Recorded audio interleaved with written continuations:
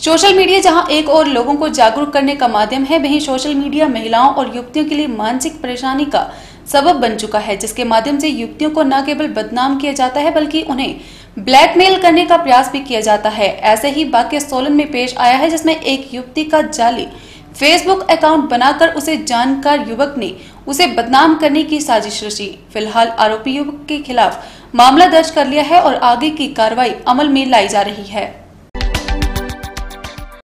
Social media जहाँ एक और लोगों को जागरूक करने का माध्यम है वहीं सोशल मीडिया महिलाओं और युवतियों के लिए मानसिक परेशानी का सबब बन चुका है, जिसके माध्यम से युवतियों का न केवल बदनाम किया जाता है, बल्कि उन्हें ब्लैकमेल करने का भी प्रयास किया जाता है। ऐसा ही वाक्य सोलन में पेश आया है, जिसमें एक युवती का जाली फेसबुक अकाउंट बनाकर उसके जानकार युवक ने उसे बदनाम करने की साजिश रची है।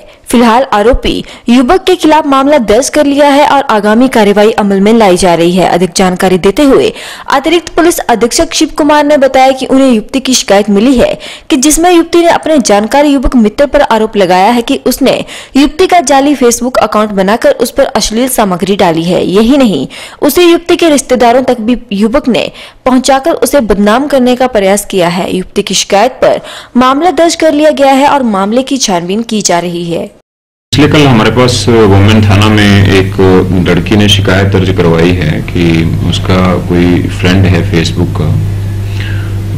उसने जो है उस लड़की की फेक आईडी बना के उस पर कुछ गालियाँ और कुछ अश्लील चीज़ें लिखी हैं और उसके रिश्तेदारों को भी वो जो है मैसेज करता है। इस पे पुलिस ने 354 डी एवं इंफॉर्मेशन टेक्नोलॉजी एक्ट के तहत केस दर्ज किया है और इसमें फर्दर इन्वेस्टिगेशन चल रही है। तो ये था भर का कार्यक्रम। कल फिर हाजिर होंगे नई गतिविधियों के साथ। आप ऐसे ही जुड़े रहिए एचडी के साथ। नमस्कार।